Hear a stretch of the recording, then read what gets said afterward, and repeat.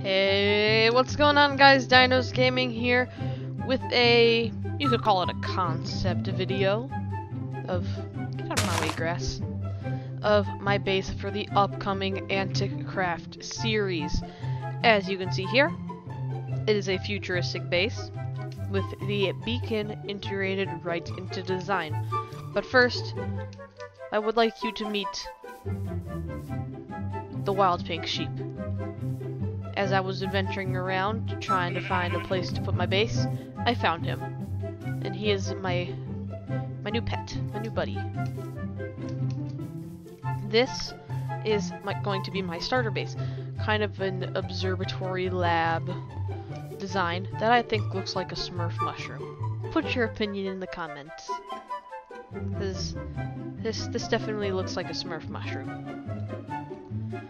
So my design is going to be a futuristic, branched out kind of base. And if you look over here, this is what I mean by branched out. Like it comes out like that into other buildings. So now if we come over here, we have our Elytra landing pad. So instead of there being a helipad, we go like that. We have ender chest strategically placed around the place. My favorite feature, a trash hole. And um, a little bit of a secret going on here. We come down here. Now you're trapped. Stairs to the storage room and fish room. Come down here. We have our nice little fish room with our tropical fish tank. And I'm thinking I can probably put some more fish tanks in here. Then this down here will be the storage room. Storage rooms are big though, so and very redstoney, and I'm not a redstone person. So this one, let's just stay up and down. We have our our double elevator. I don't know what to put in this tower, but we have a tower.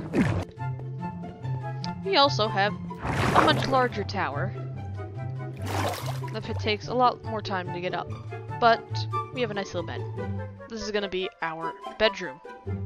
So we'll just wait for the night to come here. Okay. We have our ender chest up here, our secret lighting sources, and once again our double elevator. If you can actually see there's the beacon going up through there. And then if we come over here, no, I'm not missing a glass pane. That's just another way out. We have our trophy room with another ender chest. This will have, like, our first block mined, our first diamond, our first diamond pickaxe once we, if we can save it. Sort, sorts of stuff like that. Then if we come over here, we have our second floor. Nice little lighting sources with the end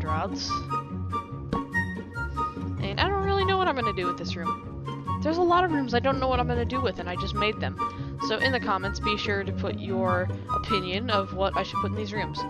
We have another one of these rooms, which has this pillared, well, maybe not pillared, but like open second floor over there. Then we come over here. I'm thinking of like splitting this up in different rooms, and one of the rooms would be a armory, which I can use this little beacon room down here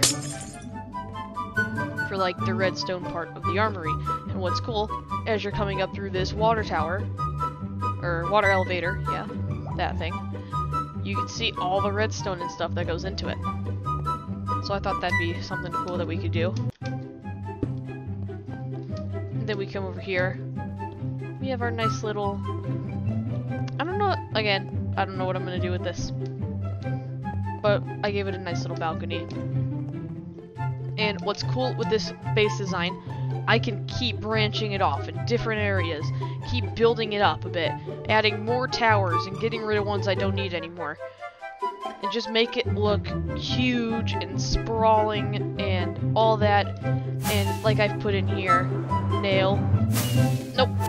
Said, like I've put in here, nope. Nail nail one by one and show off to your friends. Took a lot less tries than I thought. Can I do it again? No! Nope, I cannot. well, that is my little base showcase for you guys. I will keep updating you until Anticraft starts. It's been fun. See you guys soon.